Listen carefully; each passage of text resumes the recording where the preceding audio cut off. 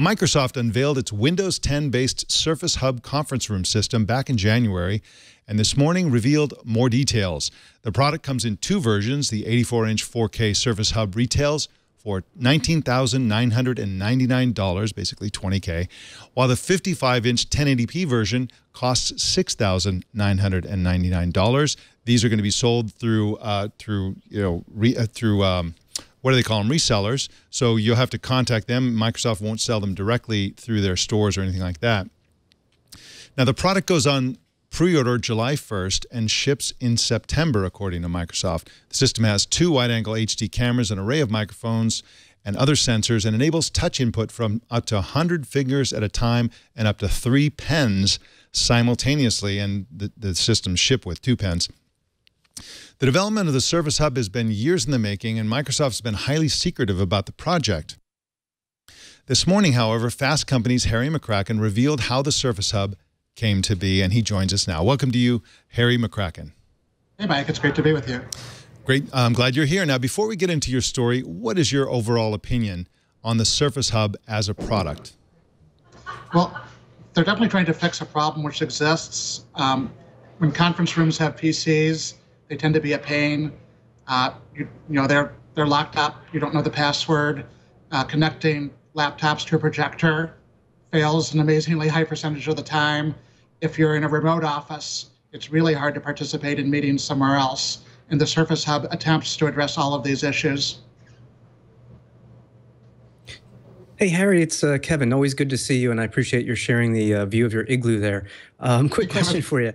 Uh, you know, you talk about what the Surface Hub is going to do. I mean, how does it really compare with existing products? Because really, this isn't the first type of product to try and bring in-office collaboration. There are products from InFocus and Clari Icon, but uh, how does it really compare to those?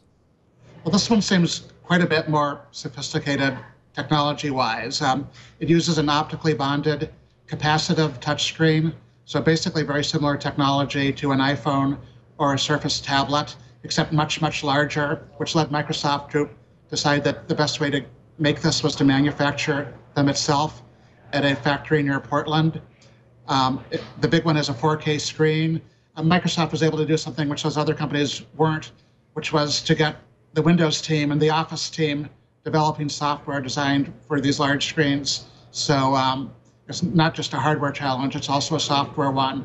Um, the products you mentioned actually still run Windows 7.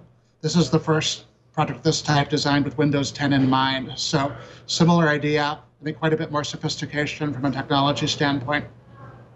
Now, the story of the Surface Hub, as you uh, went into detail in your article, begins with Jeff Han. Can you tell us about who Jeff Han is and where he comes from and what he has done? Well, back in 2005, Jeff Han was researching multi-touch input uh, before the iPhone was announced. So people didn't know that term or they didn't even understand the concept.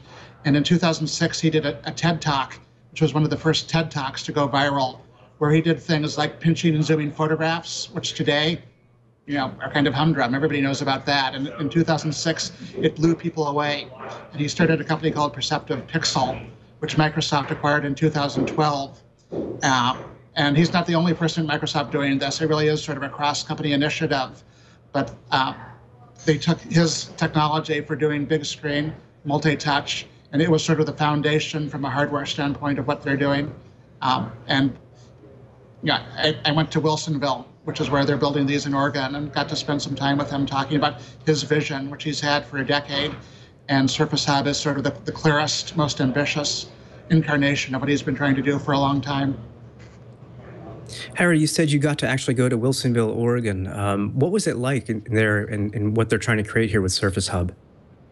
Well, it was pretty cool because I, I got to see them building these things. And um, technologically, it's kind of similar to building an iPhone screen or an iPad screen or a Surface tablet screen, except they're working with these massive 84 inch panels and they have to layer on these, these touch layers which are kind of on these big saran wrap like rolls.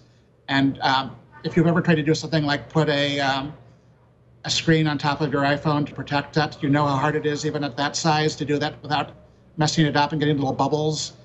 Uh, Microsoft has to do this on these huge screens. It's really hard. They build all this custom machinery and gigantic robotic arms to hoist stuff up. It's really a fascinating experience to actually see that stuff. Uh, and one little speck of dust could mess it all up. So I had to put on one of these funny suits, these, these clean room uniforms in order to go in. Now, Harry, uh, a lot of people don't realize this, but Oregon is the sort of hotbed for this kind of technology. Uh, for example, um, Polycom, which I believe is based in San Jose, uh, acquired the assets of HP's visual collaboration business and its Halo products, and those were developed in Corvallis, Oregon. InFocus, which is another product that competes, uh, as you mentioned, with the uh, Surface Hub, uh, their Mondopad product. They're based in Portland, Oregon. What is it about Oregon that attracts this kind of business, this kind of technology? That's the first part of my question. And the second part of the question is, why aren't they making this thing in China like everybody else? Well, um, the Portland area actually has a long history of technology, and a lot of it relates to display stuff. Going back to the 1940s, when this company called Tektronix was founded, Tektronix made lab equipment and, still does. Uh, and uh, that involved a lot of technology relating to displays, and a bunch of spin offs, including InFocus, were founded by Tektronix folks. And so uh, Perceptive Pixel, Jeff Han's company, went to Portland originally to take advantage of that display engineering know how in terms of why it's not made in uh, China and it's not made by a third party, basically, so much of what Microsoft is doing is new that they can't just go to a factory at, at some place like Foxconn where they're building something similar and take advantage of the economies of scale of doing that. They, they had to design their own equipment, and they decided it just, you know, once you've designed that equipment, it makes sense to just run it.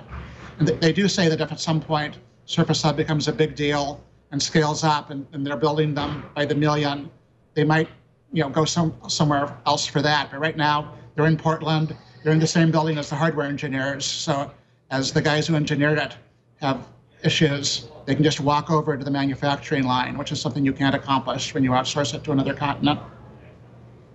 Harry, all this research, development, investment really leads to another question in my mind. When I look at the Surface products, which are you know Microsoft built and sold, um, you've got a consumer aspect to them with Surface, Surface Pro. You also have the enterprise aspect uh, for Surface Pro in the workplace. This is clearly a, a, big enterprise play. I would assume probably digital media as well. Uh, I also remember though that the original Surface, Microsoft took a 900 million dollar inventory hit because it didn't pan out so well. And it seems to me like they're taking a really big risk here in terms of, of the investment and the cost. Would you agree with that, or do you think they're onto something here? I mean, I think it has the potential to do well, but um, you know, Microsoft's history of getting the world excited about new categories in hardware and actually having them pay off on the scale that the company expects has not been great. I think this is a little different because this is so purely an enterprise product. You're not going to see this at the Microsoft store I imagine you will not see this advertised on TV. Um, they're going through the, the kind of, of, companies that sell equipment to large companies for conference rooms, um, which I think is smart because big companies actually do spend quite a bit on technology for conference rooms. And the Surface Hub is sort of a, a Swiss Army knife. It, it, can potentially replace multiple products, which, which, which would cost more. So I'm not confident saying this is clearly going to be a, a, huge business for them, but I think it's a little bit more specific. They seem to be going about it in an intelligent way, and at least the opportunity exists. And it's not reacting to the iPad in the, in the way that um, Microsoft's acquiring Nokia was a response to the iPhone, and the Surface tablet was a response to the iPad. This actually is trying to make a somewhat small category large, and Microsoft seems to be as good a place as anybody to do it. Yeah, that's a great point. Uh, this is a, a rare case uh, in recent years where Microsoft is ahead of the curve. They're reinventing uh, something that's very important to businesses, essentially how conference rooms work.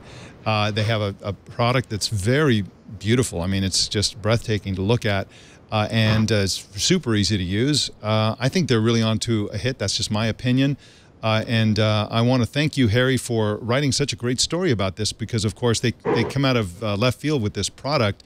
And it's great to know where it come, came from, how it relates to Perceptive Pixel and all the rest. and you pretty much answered all the questions I was having about this whole product. Harry McCracken is at fastcompany.com and also technologizer.com. And he's coming to us from the Fast Company Biodome. I want to thank you for that. And you can also follow him on Twitter at Harry McCracken. Harry, thank you so much for joining us today.